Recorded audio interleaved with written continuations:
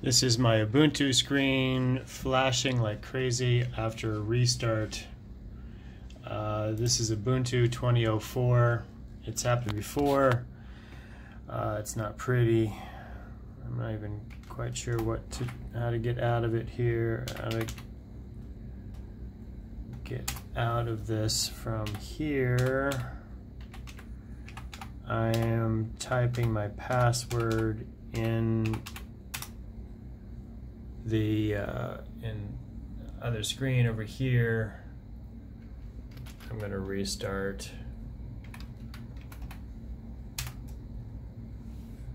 Uh, or maybe it's reboot. Sorry. Reboot. There we go. And now it's rebooting. Hopefully that very annoying flashing screen will go away the next time.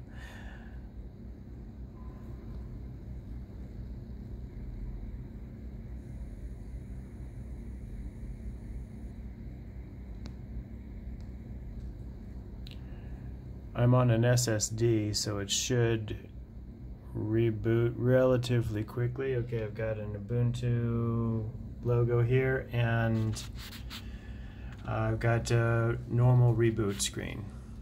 Thanks for watching. Happy computing.